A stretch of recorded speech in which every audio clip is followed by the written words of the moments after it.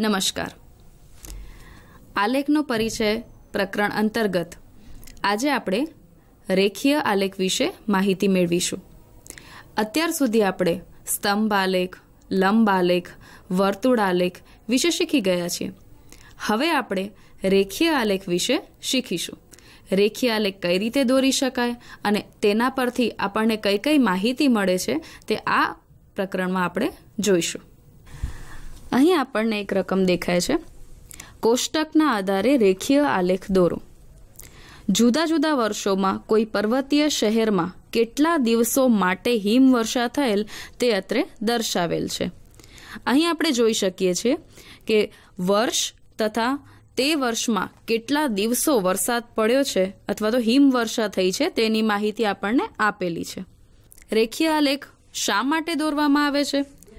તો નિશ્ચિત સમયગાળામાં, સમય સાથે માહિતીમાં થતો સતત ફેરફાર દર્શાવવા રેખીય આલેખ વપરાય છે. તો અહીં આપેલ માહિતીને રેખીય આલેખ સ્વરૂપે કેવી રીતે દર્શાવી શકાય તે આજે આપણે જોઈએ.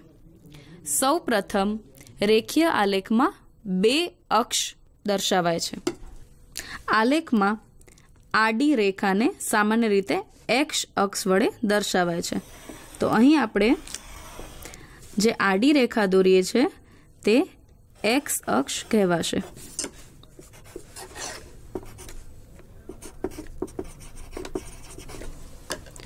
અને આલેખમાં ઊભી રેખાને વાય અક્ષ તરીકે દર્શાવાય છે.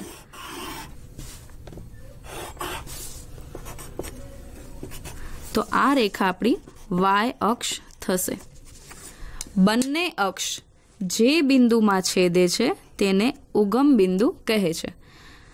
હવે, આપેલ માહિતીમાં આપણને બે અલગ અલગ માહિતી છે. એક છે વર્ષ અને બીજું છે દિવસોની સંખ્યા. તો આપણે વર્ષને જો એક્સ અક્ષ ઉપર લઈએ, તો અહીં આપણે વર્ષ દર્શાવીએ છીએ. વર્ષ આપણે જોઈ શકીએ છીએ બે હજાર ત્રણ, બે હજાર ચાર, બે હજાર પાંચ અને બે હજાર છ.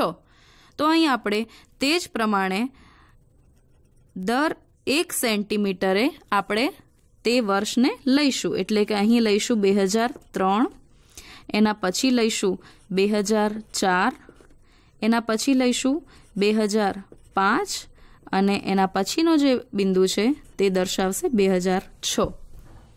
અને વાય અક્ષ પર આપણે દિવસોની સંખ્યા લઈશું. અહીં આપણે આપેલ માહિતી મુજબ પ્રમાણમાપ નક્કી કરી અને વાય અક્ષ ઉપર માહિતી લઈ શકીએ છીએ. તો આપણે વાય અક્ષ ઉપર એક સેમી બરાબર બે દિવસના પ્રમાણમાપ મુજબ આપણે અહીં બે, ચાર, છ, આઠ